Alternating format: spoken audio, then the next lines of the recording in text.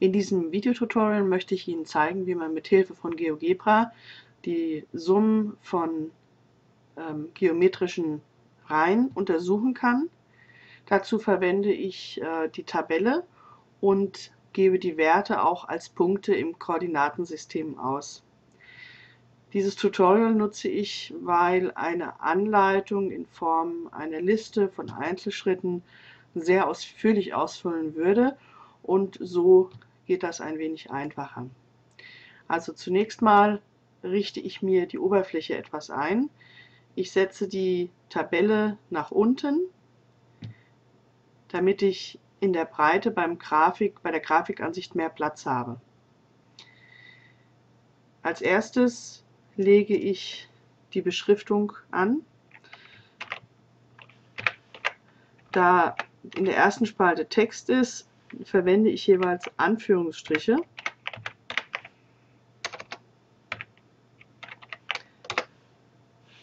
Wenn ich das Ganze formatieren will, muss ich hier oder kann ich zum Beispiel hier die Gestaltungsleiste aufrufen und das Ganze dann hier formatieren.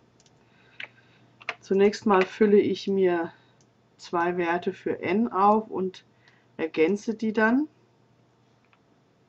Ich möchte die Spalten etwas kleiner machen. Deshalb markiere ich alle Spalten, die es betrifft. Und wenn ich eine von diesen Spalten dann verkleinere, dann werden die restlichen auch mit angepasst.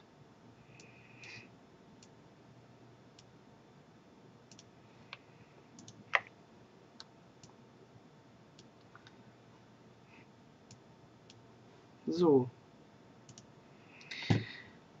für die geometrische Folge verwende ich zwei Schieberegler, mit der ich das Folgenglied A1 festlege. Ich beschränke dabei die Zahlen ein wenig ebenso für den Faktor Q.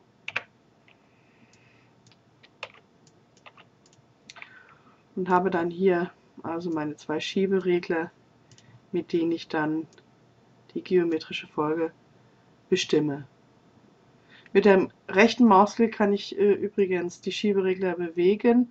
Wenn ich das Werkzeug Schieberegler aktiviert habe, dann geht das auch mit der linken Maustaste.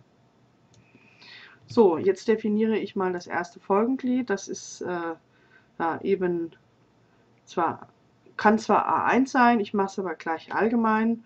Und zwar ist das ja festgelegt aus A1 äh, hier muss ich übrigens also nicht äh, irgendwie ähm, adressieren, sondern ich nehme einfach den Wert, der ja hier auch im Algebra-Fenster angegeben ist, von A1 und dann berechne ich A1 mal Q hoch n minus 1 ist ja die Formel, also Q hoch und dann in Klammern.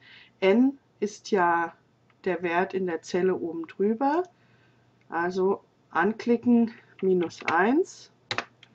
Und wenn ich das Ganze dann kopiere, entweder hier mit diesem Viereck oder einfach STRG C, STRG V, bekomme ich die restlichen Werte. Nur noch mal zum Vergleich. Hier war ja B1 minus 1. Hier habe ich C1 minus 1, also immer der Wert oben drüber. So, jetzt habe ich hier diese Zahlen schon. Ich möchte ähm, die Folgenglieder aber als Punkte im Koordinatensystem darstellen. Dazu erstelle ich mir in der nächsten Zeile Punkte, einfach als Wort. Und die bekomme ich, indem ich die Variante verwende, wie ich zum Beispiel auch Punkte eingeben kann, nämlich einfach runde Klammer und zwei Werte voneinander trennen. Das sind hier einmal der Wert in der, Zeile, äh, in der Zelle B1 und als y-Wert in B2. Und damit habe ich bereits den ersten Punkt. Ich kopiere wieder und habe dann die restlichen Punkte. Jetzt habe ich bei diesen ganzen Punkten hier ähm, Namen dran. Die Namen entsprechen ja hier den Zellenbezeichnungen die möchte ich nicht haben. Eine Möglichkeit wäre, dass ich zum Beispiel im Algebra-Fenster die Hilfsobjekte anzeige. Die Punkte sind jetzt hier auch alle markiert, sieht man an der grauen Hinterlegung. Ich könnte sie per Rechtsklick dann anwählen und dann im Eigenschaften-Dialog was verändern.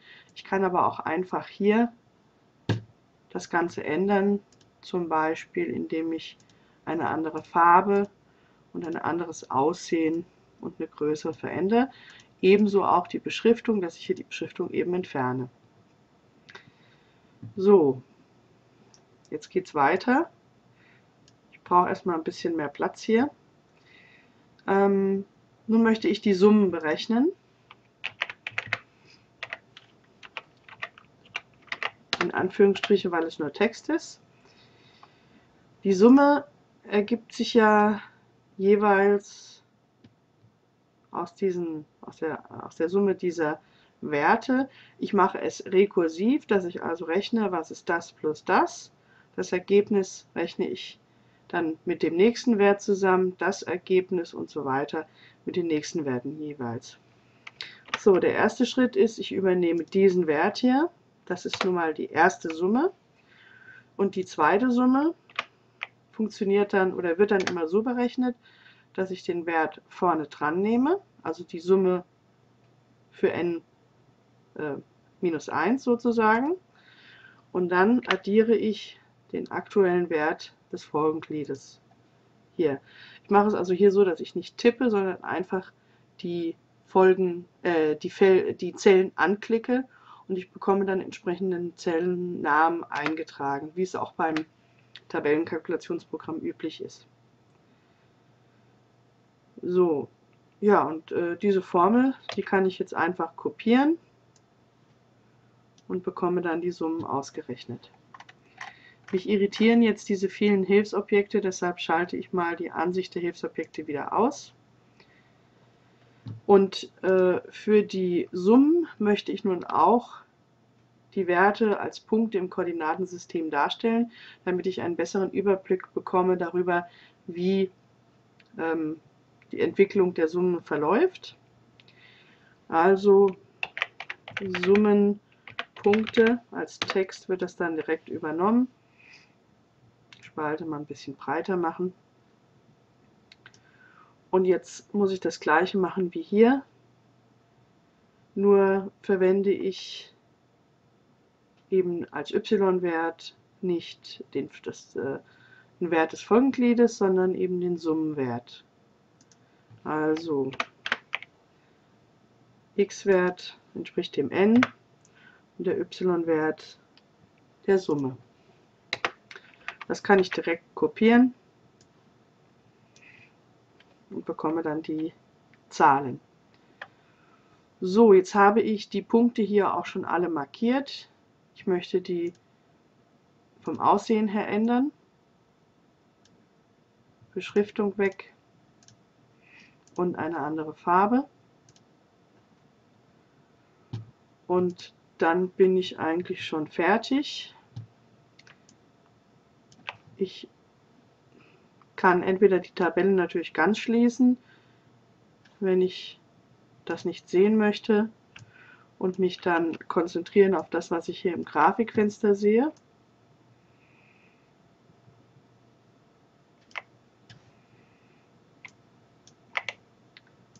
Oder die Ansicht natürlich lassen. Im Prinzip brauche ich auch die Algebra-Ansicht nicht. Die Werte, die kann ich ja ablesen, wie ich sie hier habe. So, und dann kann ich Untersuchungen vornehmen, für welche Werte von A1 und Q ich eine Folge habe, die entweder gegen unendlich geht oder gegen einen Grenzwert strebt. Hier sieht man noch, dass, es ein, dass die Summe einen Grenzwert hat verschiebt das Ganze mal. Und hier sieht man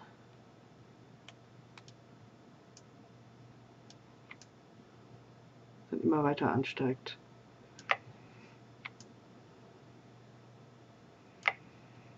So, natürlich kann man sich noch mehr Punkte einzeichnen lassen. Im Grunde genommen ist das nur eine einfache Erweiterung der Tabelle. Wenn wir noch mal kurz die Tabelle zurückholen, lässt sich das ja relativ einfach machen. Das Einzige, was ich beachten muss, ist, dass ich nicht einfach alle Tabellen so direkt oder alle Bestandteile direkt kopieren kann. Ähm, wenn ich eine rekursive äh, Formel habe. Ich probiere mal, ob das jetzt hier einfach trotzdem geht. Ja, und das scheint ohne Probleme funktioniert haben. Wir lassen uns das mal kurz anschauen wieder.